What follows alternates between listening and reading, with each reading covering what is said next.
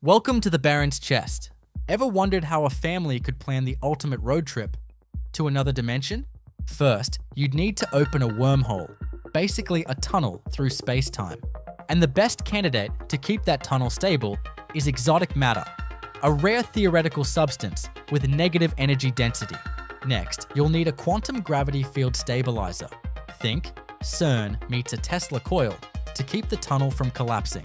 To make it van sized, you'd use gravitational lensing to expand the throat of the wormhole to at least 9 feet wide, and reinforce the edges with magnetic containment rings so the family dog doesn't get atomized. For guidance, a neural link AI navigator that locks coordinates to the alternate dimension's frequency signature because Google Maps doesn't cover the multiverse. Inside, it's a smooth ride.